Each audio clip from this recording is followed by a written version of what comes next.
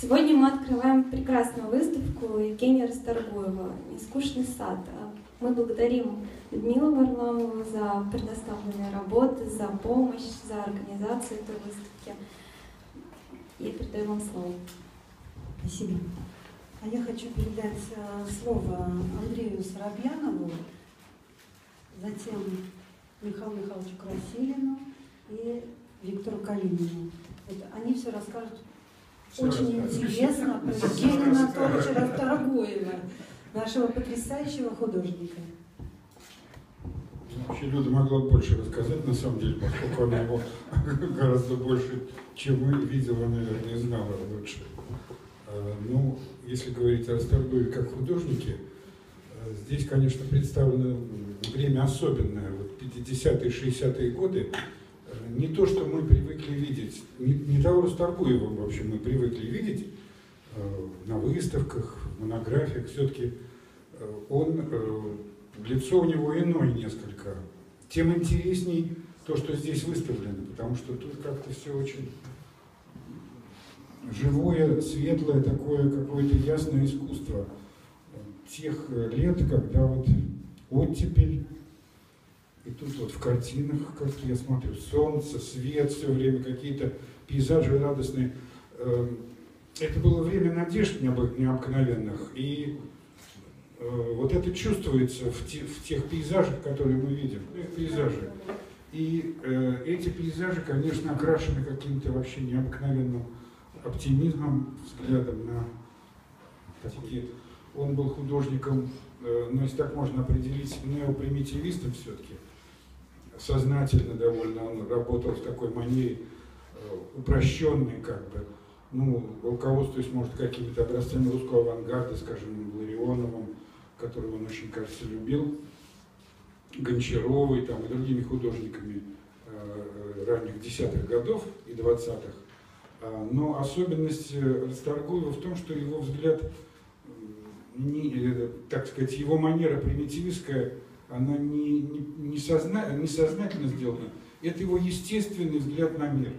Вот в чем дело. Это такой какой-то, с одной стороны, детский, наивный, а э, вообще-то мы знаем, что дети в своей наивности и, и бывают иногда гораздо более мудры, чем э, взрослые в своей ненаивности.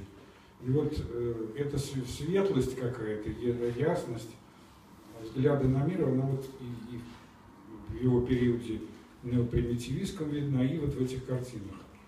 Ну, только могу поздравить всех нас с этой выставкой. Я думаю, что она будет иметь успех.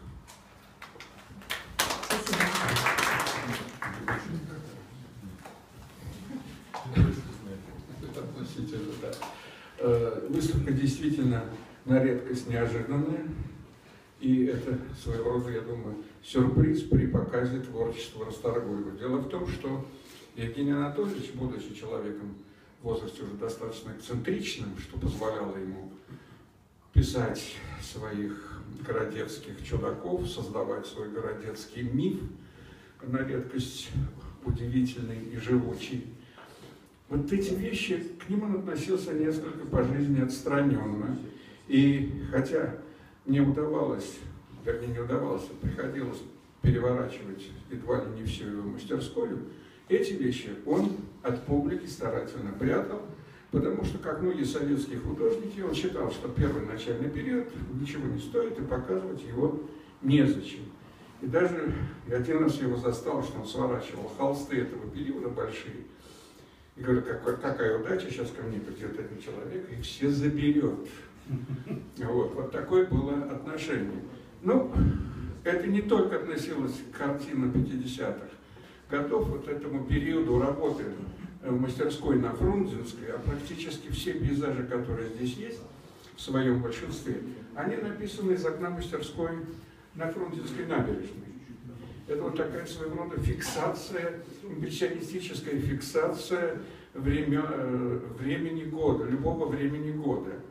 Картин на этот, этого периода достаточно много, и они уже разошлись по многим частным коллекциям, вот то, что удалось Людмиле собрать, я считаю, что это очень большая удача. Теперь мы на эти картины, ну, с, про... с тем временем, которое уже прошло, мы смотрим на них другими глазами, и э, совсем по-другому оценивают. Так что поздравляю с этой выставкой.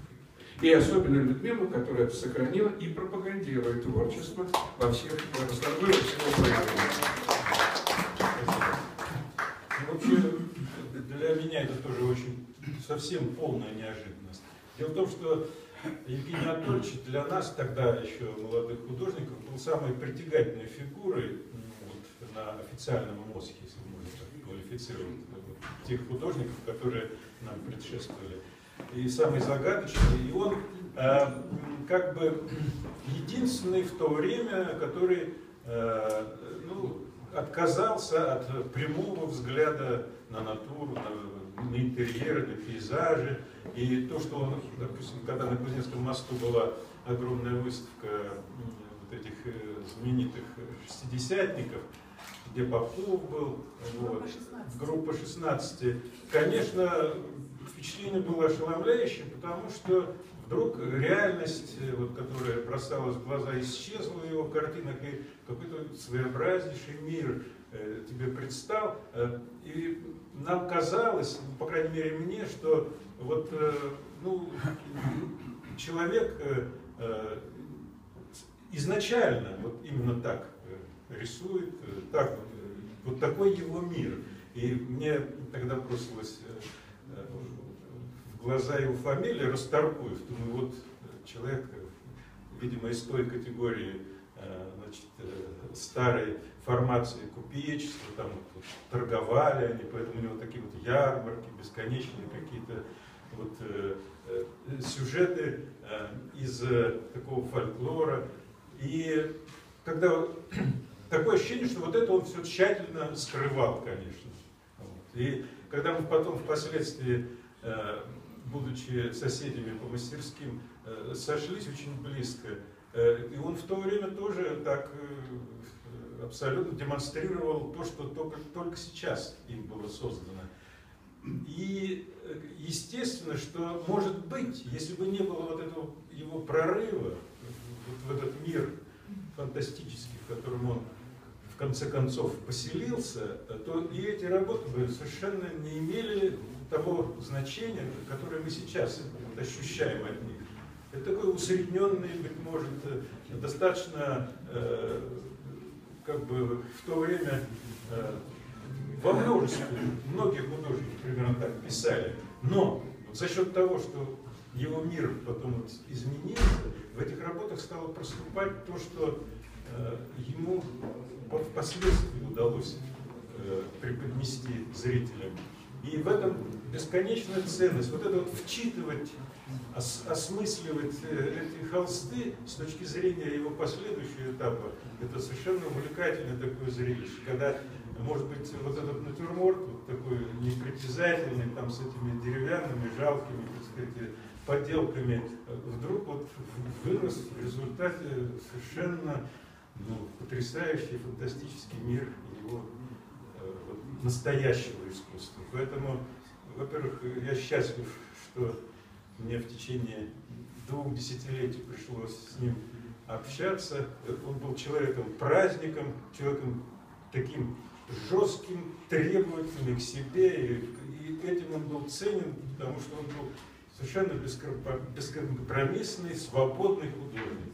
Один из немногих, которых я встречал в своей жизни. Спасибо, Людочка.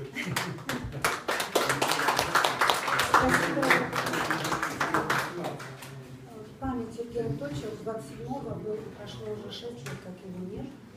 И с моей дочкой, с Наташей, ну, вот, стараемся что-то делать в память и Тамары, его жены, его, Ростовоева, потому что он достойный. Я думаю, что пройдет еще какое-то время. Да, Андрей? И его оценят по достоинству, по-настоящему. Очень этого хочется. Я знаю, что Евгений Анатольевич это хотел. Он хотел это. Потому что он, на самом деле, он особенный. Он особенный художник. И вот Витя правильно сказал, что он, он был искренен во всем. Если он говорил что-то, я извиняюсь, это его было слово, прошу прощения заранее, он говорил, Выставка гувенная. Вот, но это было так. Мы его за это не, не сильно любили, но однако это было так. И это было правильно иногда сказано. Ну и нам с Наташей доставалось. Но зато Наташа вот выросла, он дед бы гордился, и Тамара бы гордилась э, своей внучкой. То есть мы стараемся не подводить их. Вот. А я очень рада, что эти работы мы показываем, потому что они теплые, они э, просто светятся изнутри. Э, цвет, который... Э, и тот, те самые работы, вот, которые сейчас, они словно не удивляешься, что они такие потому что смотришь старые эти работы, и ты понимаешь, что эти новые работы, которые вот так, так, тот самый Расторгуев с его городецкой фантазией, в этом нет ничего удивительного. Он отсюда вышел. И так естественным образом каким-то. Ну, просто был умный и очень невероятно талантливый человек. Спасибо всем. Если кто-то еще хочет сказать, может, Оля Костина? Скажи, пожалуйста, Олечка, дорогая. Не собиралась, но ты вытащила меня. Я тебя буду выпустила. Дорогие друзья, я э, просто хочу вам рассказать о своем последнем впечатлении, которое я получила, будучи у Людмилы в гостях. Это было совсем недавно, когда она мне показывала в мастерской работы очень ранние, особенно графику. Вы знаете, эта графика меня совершенно потрясла. Такие путевые зарисовки, вот, э, совершенно изумительные по своей точности, по своей эмоциональности.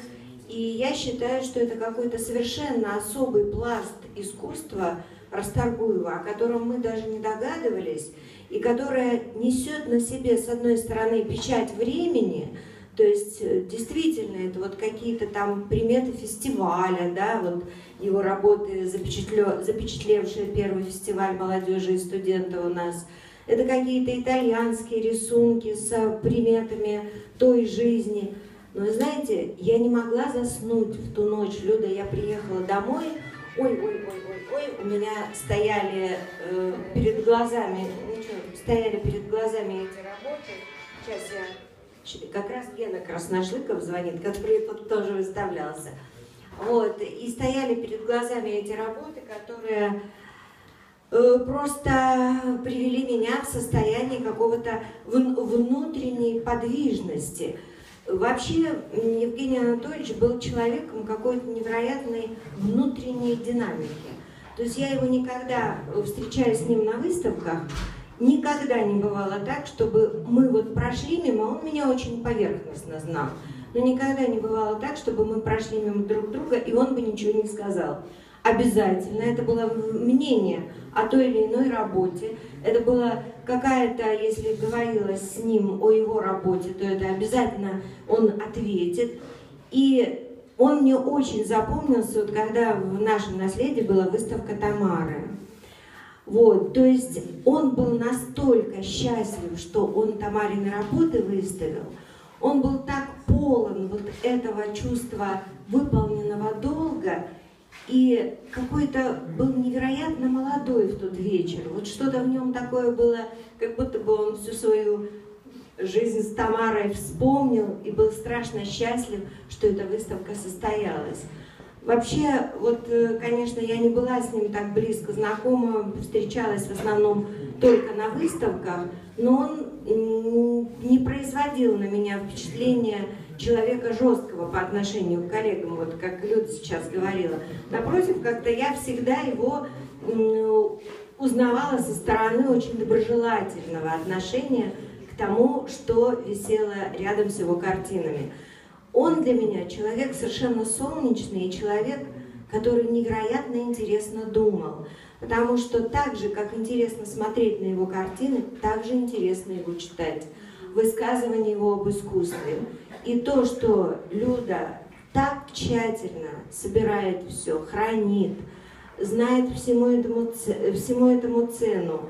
Вот, вы знаете, есть родственники, есть родственники с большой буквы. Вот Люда родственник с большой буквы.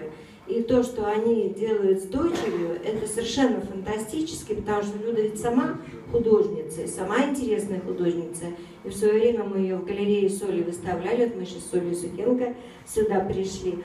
Да, и, но то, что она знает цену вот э, такому замечательному художнику и человеку, и как Людмила всегда о нем отзывалась и отзывается сейчас, то есть вот ее наполненность этим, этим человеком, этой личностью, его искусством, это тоже своего рода явление.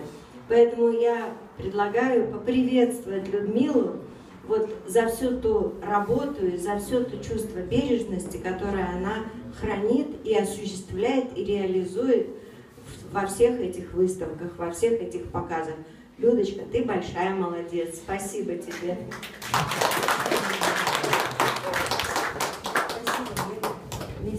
Наташей мы тут это делаем. Вот.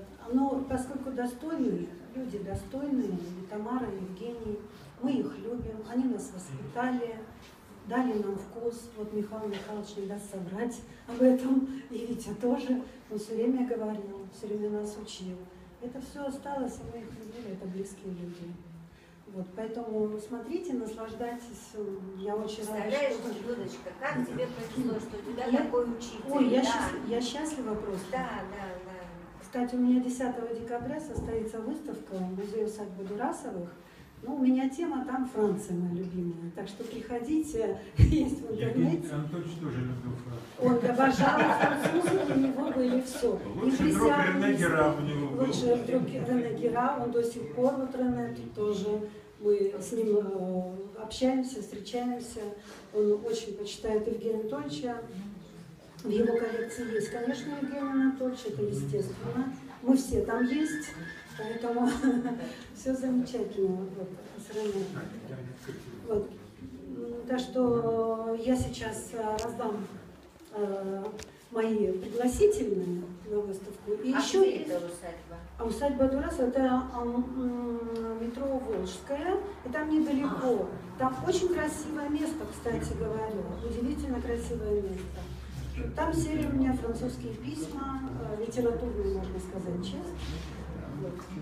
И еще каталог у нас, Катюш, ка- каталог у нас этой выставки. А, Мы когда готовили эту выставку с Людмилой, а, мы неожиданно решили обратиться к молодым искусствоведам, а, к Александру Селенкову и Вере Кравцовой. Обратите внимание на их искусствоведческое исследование в экспликации, и также они будут в каталогах. Это, мне кажется, это хороший знак, когда молодые искусствоведы исследуют вот это искусство. А, да, кстати, ребята очень интересные, мне они так понравились. Они пришли в мастерскую, очень внимательно смотрели, очень с таким трепетом вообще отнеслись, потому что у нас есть наши великие Андрей Соробьянов, Михаил Михайлович, искусствоведы наши, можно сказать, родные. Оля Костина, естественно. Вот. А, но я решила, что вот эти старые работы 50-х, 60-х годов с этого, вре- этого времени и взгляд туда, это было бы интересно. И вот Саша написал просто потрясающе.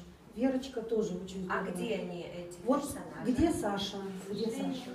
Пока А. по- вот Саша припоздал, Вера, он- она в э, командировке. Вот, но ребята очень толковые. Очень толковые, умные, и это очень радостно. Да. Так что спасибо открытому клубу. Каталог есть, да. Каталог есть сейчас. Отлично, супер. Сейчас Катюша раздаст каталоги. Все, выставка объявляю открытой, наслаждайтесь, она будет работать до 15 числа.